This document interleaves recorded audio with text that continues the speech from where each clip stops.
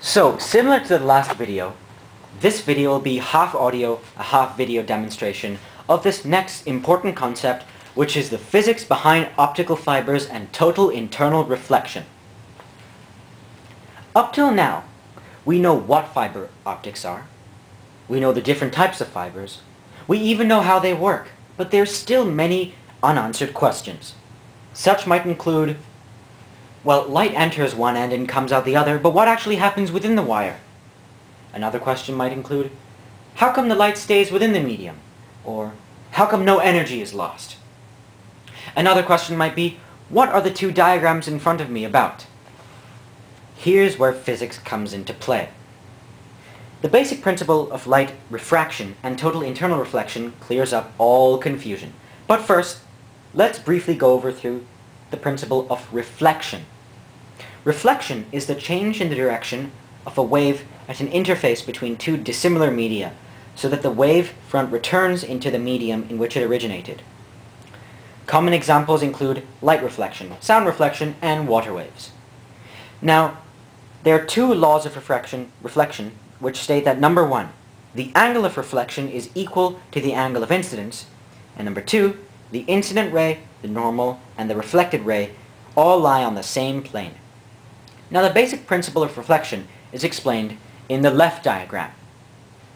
So, here we have an incident ray, or a ray that's going to hit the surface. This is a totally reflective surface.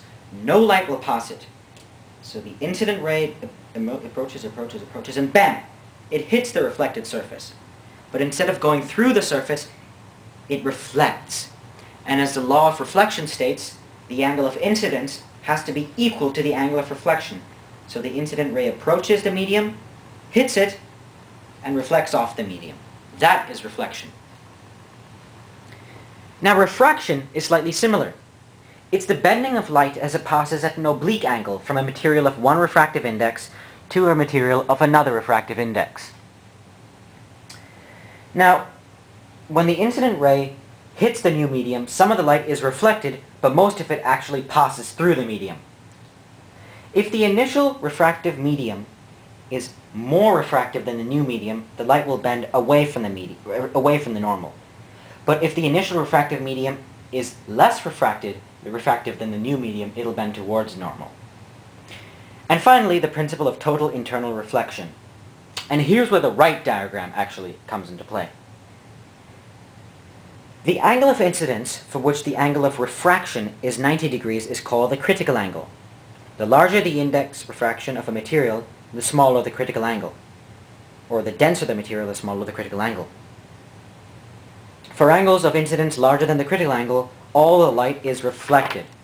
And this is called total internal reflection. And for total internal reflection to occur, number one, the light must be traveling in the more refractive medium, and number two, the angle of incidence in the more refractive medium must be larger than the critical angle. Now fiber optics are made of special plastic and special glass fibers that are very, very dense. Light can be transmitted through one end and come out of the other one with little loss in intensity. So let's go and look at the right diagram. Light enters through one end, and the material is so dense that the angle of incidence is greater than the critical angle. So it bends, bends, bends, bends, and comes out of the other end. This is why they are so efficient, because almost no information is lost based on the principle of total internal reflection. This, ladies and gentlemen, explains the physics behind optical fibers and total internal reflection. If you didn't catch any of this or would like to view the diagrams again, please scroll down this web page, as what I've just stated in this video is going to be detailed in text format with these two diagrams.